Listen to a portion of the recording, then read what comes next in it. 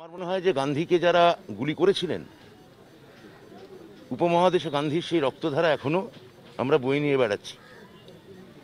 আমাদের স্থির করার সময় এসছে, যে মূল্য, যে মাসুল গান্ধীকে জীবন দিয়ে দিতে হলো, তারপরেও যারা তাকে হত্যা করল তার উত্তরাধিকারকে, সেই রাজনীতি বা সেই ভাবাদর্শ সেই সংকীর্ণ গোঁড়া, রাজনীতির উত্তরাধিকার আজকে যদি গান্ধীরকে শ্রদ্ধা জানা জানাতেই পারেন কিন্তু তাহলে তাদের প্রকাশ্যে স্টেটমেন্ট দেওয়া উচিত যে আমরা এটা করেছিলাম এবং এই কাজটা আমাদের অন্যায় হয়েছে তো এখন যদি রাজ্যপাল প্রশ্ন তোলেন যে আমাদের এখানে কেন সহিংস আন্দোলন হয়েছিল, কেন একজনও গুজরাট থেকে কেন ফাঁসি যায়নি? আমাদের এখানে কেন বিনয় বদল, দীনেশ হয়? আমাদের এখানে কেন সূর্য সেন হয়? আমাদের এখানে কেন বারবার মানুষ রাজনীতি নিয়ে মাথা ঘামায়? রাজ্যপাল প্রায় সেই বাংলার ঐতিহ্যকে চ্যালেঞ্জ করছেন। এইটা ওনার পক্ষে বোঝার কথা নয়। আমার মনে হয় যে রাজ্যপাল না জানেন বাংলার ইতিহাস, রাজনৈতিক সচেতনতার ইতিহাস। এখন কথা হচ্ছে যে বাংলার রাজনীতি তার মধ্যে সহিংস প্রভাব বরাবরই ছিল। নির্বাচনে যদি কোথাও বিচ্ছিন্ন ঘটনা ঘটে থাকে সেটা সার্বিক দায়। কোনো দলের দায় নয়।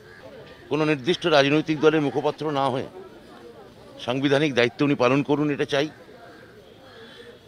মুখ্যমন্ত্রীর সঙ্গে সহযোগিতা করুন, এটা চাই।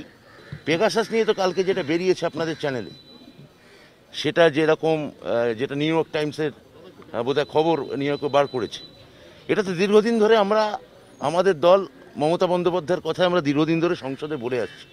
এবং আসন্ন সংসদে আমার আশা নির্বাচনে এই পেগাসাস বিষয়, যে কেন্দ্রীয় সরকার যে সবার ঘরে আড়ি পাচ্ছে, কোনো প্রাইভেসি থাকতে দিচ্ছে না, সেটা আরেকবার প্রমাণিত হবে। জ্যোতিপ্রিয় মল্লিককে আমি অভিনন্দন জানাব, যদি জ্যোতিপ্রিয় মল্লিক এটা করে থাকেন, আমি জানি না কি করেছেন, আমি বলব যে এটা জ্যোতিপ্রিয় মল্লিক যা বলেন, সেটাই করেন। এবং উনি আগেও কথা বলেছিলেন, ঘোষণা করেছিলেন। আজকে তা হাতে কলমে করে দেখালেন। ব্যারাকপুরে যতদিন এই নির্দিষ্ট এমপি থাকবে, ততদিন ব্যারাকপুর এইরকম অশান্ত, উপদ্রুত এবং আতঙ্কের উপত্যকা হয়ে থাকবে। এই এমপি যতদিন আছে, ততদিন ব্যারাকপুরে এই উপদ্রুত এলাকা হিসেবে ব্যারাকপুর আমাদের দেখে নিতে হবে এবং প্রশাসনিক থেকে পর্যাপ্ত চেষ্টা চালাতে হবে যাতে এই ধরনের ঘটনা না ঘটে।